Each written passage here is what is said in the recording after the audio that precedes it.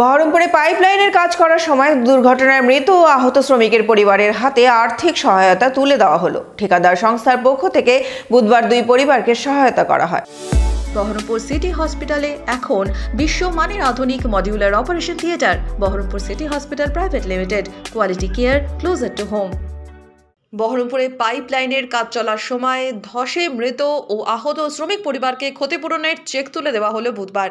মঙ্গলবার বিকেলে বহরমপুরের সয়দাবাদ এলাকায় গঙ্গার ধারে রাস্তায় কাজ করার সময় মাটি ধসে চাপা পড়ে মৃত্যু হয় রমজান শেখ নামে এক শ্রমিকের।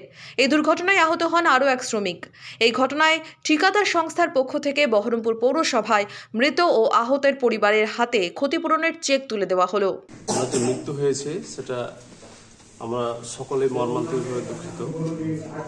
আমার একটাই বক্তব্য যে শ্রমিকরা যে কাজ করে, সেই কার্যের জায়গায় যেই ধরনের কাজ হোক না কেন, সেই ধরনের প্রোটেকশন দিয়ে সকল কোম্পানিকে অনুরোধ করছি ইঞ্জিনিয়ারকে অনুরোধ করছি যাতে সমস্ত রকম প্রোটেকশন দিয়ে শ্রমিকদের শ্রমিকদেরকে কাজ করানো হয়। ঠিকাদার সংস্থার পক্ষ থেকে মৃত শ্রমিক পরিবারের হাতে পনেরো লক্ষ টাকা এবং আহতের পরিবারকে দু লক্ষ টাকার চেক তুলে দেওয়া হলো।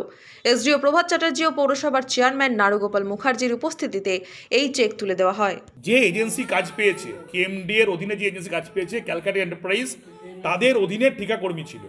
তাহলে অর্থাৎ যেহেতু সে সরকারি কর্মী নয় সেই জন্য সরকারের ডাইরেক্টলি ওখানে ইন্টারফিয়ারেন্স করা ডাইরেক্টলি হচ্ছে ইনভলভ হওয়া, সেই স্কোপ নেই। কিন্তু সরকার যেটা করেছে, এটা মূলত এসডিও সাহেবের নেতৃত্বে, কালকে ডিএম সাহেব বলেছেন, আমাদের প্রিন্সিপাল সেক্রেটারির নেতৃত্বে, আমরা মমতা বন্দ্যোপাধ্যায় সরকার যে কোনো মানুষের পক্ষে। অর্থাৎ এজেন্সিকে রিকোয়েস্ট করা হয়েছিল, তার প্রেয়ারও আছে, আপনারা দেখেছেন। আমরা বলেছিলাম এজেন্সিকে রিকোয়েস্ট করেছিলাম যে পরিবার ঠিকাকর্মী যে কোনো কারণে ভিক্টিম হোক না কেন, তার যে ইন্স্যুরেন্স সেটা তো আপনাদের দিক থেকে আছে পিএফ কি আপনারা পাবে। কিন্তু ইন দ্য মেন টাইম আমাদের রিকোয়েস্ট কেন?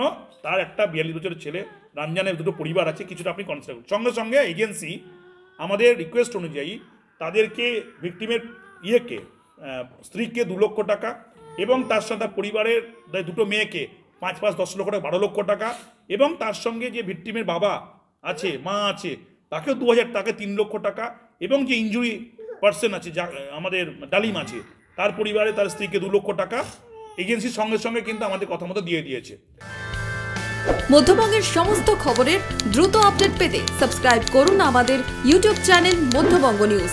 সমস্ত খবরের দ্রুত নোটিফিকেশন পেতে বেল আইকনে ক্লিক করুন।